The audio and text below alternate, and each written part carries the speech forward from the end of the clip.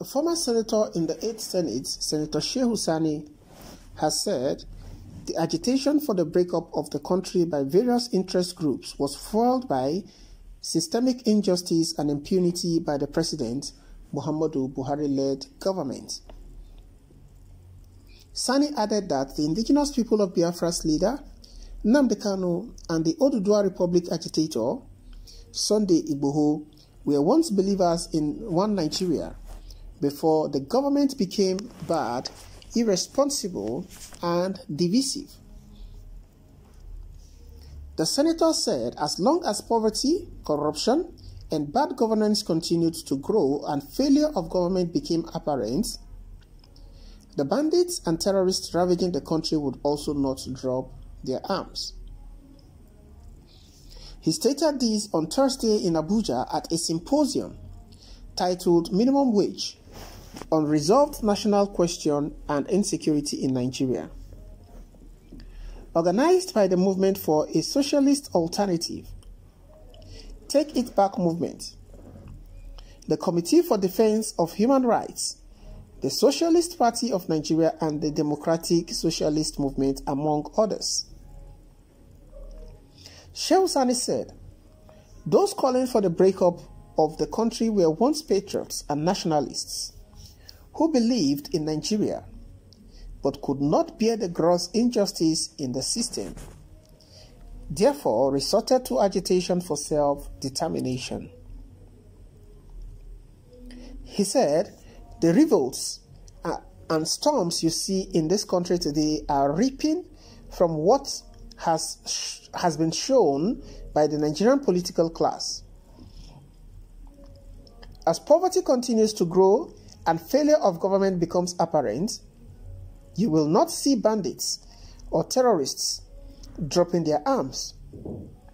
You will rather see people moving to the other side of the divide. Insecurity is not only a threat to the existence of the people, but today, one of the most important factors that is precipitating the agitation for the breakup of Nigeria. I am a, believer in the unity of Nigeria and the unity of Africa as a state, the United States of Africa. But there is a need for us to ask ourselves.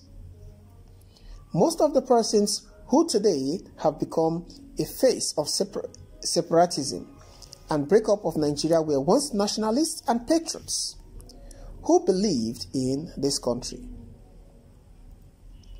From IPOB to Oduduwa Group, from Nnamdi and Sunday Igboho, they were believers in Nigeria. What went wrong? That is the question we should ask ourselves. Today, the military is more interested in constructing event centers, shopping malls, universities, and commissioning housing schemes. You can hardly see a policeman with a weapon without a tape. Sometimes you will ask if the paper tape was part of the Nigeria weapon system.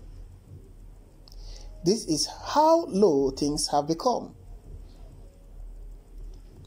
He berated the Minister of Finance and the federal government for not being able to justify how the sum of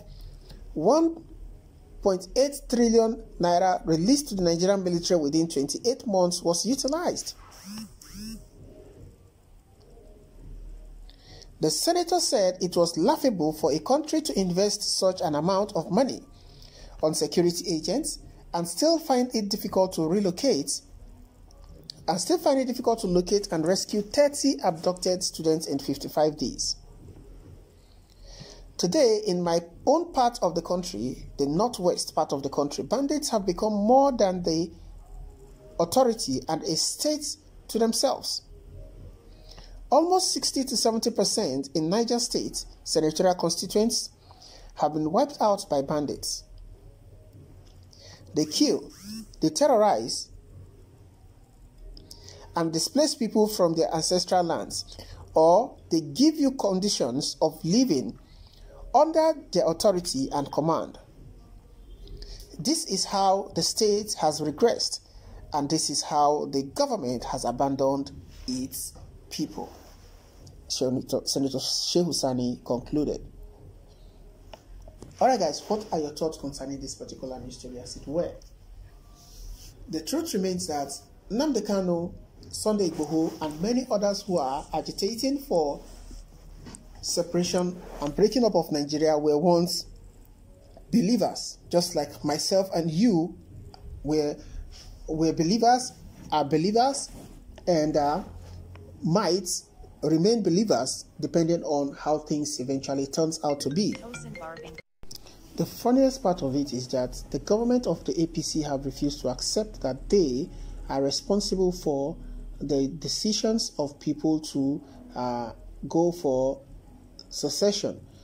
They seems to be um, responsible for the reason why lots of people are looking at self-determination.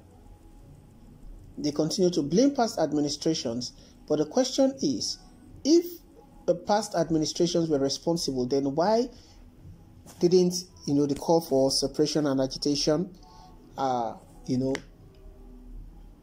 became so loud under those administrations.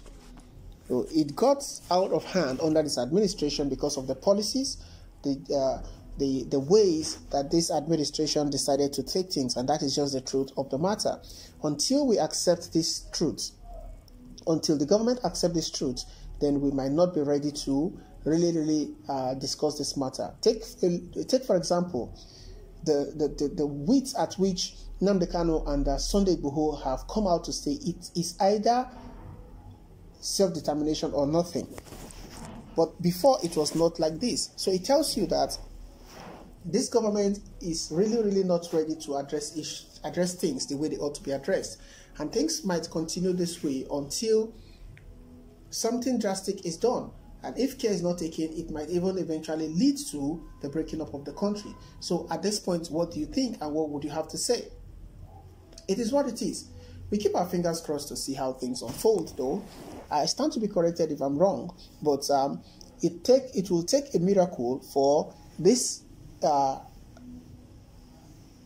regions to accept one Nigeria again. Well, drop by the comment section. Let's know what your thoughts are.